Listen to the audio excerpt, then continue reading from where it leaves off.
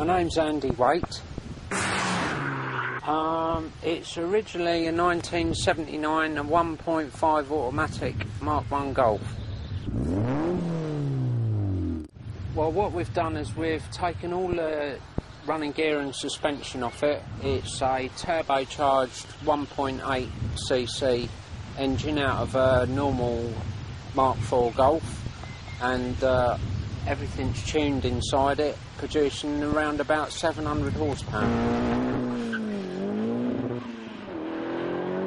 Um, 0 to 60 is 2.6 seconds. Um, we can cover a quarter of a mile in the standing start in 10.20 seconds, and the terminal speed of that at the end of the quarter of a mile is 141 mile an hour.